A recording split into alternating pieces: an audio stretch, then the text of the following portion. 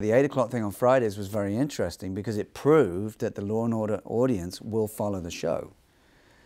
So we actually defied all the odds. You know, they tried to shoot us a few bullets and gun us down, but we just got up and kept running and brought more audience in. But the audience follow the show. So it's already got that base, but I think the 10 p.m. slot, it gives more people an opportunity.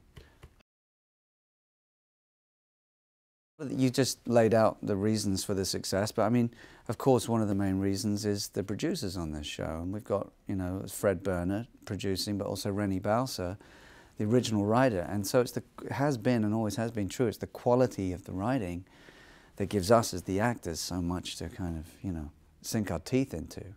And that's what keeps the audience engaged with these stories. So, I, I mean, yeah, and, and it keeps reinventing itself along the way as well. I, you know, the shows, each one has its own particular kind of flavor. They're like little mini movies like that. So it's, it's great, and I, I, am not tired of it. So I, I think um, there's a lot of life left in the whole vehicle at this point.